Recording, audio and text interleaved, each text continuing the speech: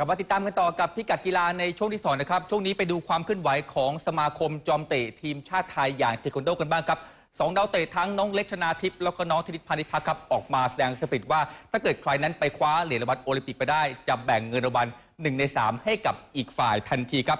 เปิดเผยออกมาจากนายกสมาคมกีฬาเทควันโด แห่งประเทศไทย ผู้ช่วยศาสตราจารย์พิมลศรีวิกรครับออกมาเปิดเผยว่า ตอนนี้ครับรุ่น 49 กิโลกรัมหญิงนั้น มีจอมเตะไทย 2 คนที่ติด top 6 คะแนนสะสมอันดับโลก ก็คือน้องเทนนิสพาณิภัค วงศ์พัฒนกิจ แล้วก็น้องเล็กชนาทิพย์ซ้อนขำครับ แต่ว่าทางสหพันธ์เทควันโดนั้นกำหนดให้ใน top 6 นั้น ห้ามมีชาติที่ซ้ำเกินหนึ่งคนครับทำให้ทั้งคู่นั้นต้องมาเตะต้องมาคัดเลือกกันเพียงแค่คนเดียวเพื่อคว้าตั๋วไปลุยโอลิมปิกเกม ที่ริโอประเทศบราซิลในช่วงเดือนสิงหาคมนี้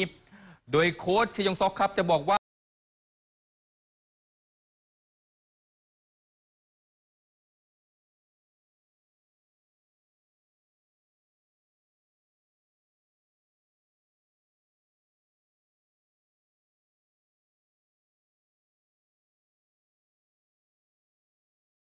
าจะเป็นผู้กำหนดว่าจะใช้หลักเกณฑ์ใด แต่ว่าในเบื้องต้นนั้นสมาคมจะไม่ได้ชี้ขาดจากการประลองกันเพื่อหาผู้ชนะเพียงอย่างเดียว แต่ว่าจะดูจากองค์ประกอบหลาย ๆ อย่าง ทั้งความพร้อมของร่างกาย รวมทั้งโอกาสในการแข่งขัน โอกาสในการคว้าเหรียญควบคู่กันไปด้วยครับ หลังจากเสร็จสิ้นรอบคัดเลือกโอลิมปิกเกมโซนเอเชียในวันที่ 16 ถึง 7 เมษายนนี้ ก็คาดว่าน่าจะได้ตัวนักกีฬาแน่นอนแล้วว่าจะเป็นน้องเล็ก หรือว่าน้องเทนนิสนะครับ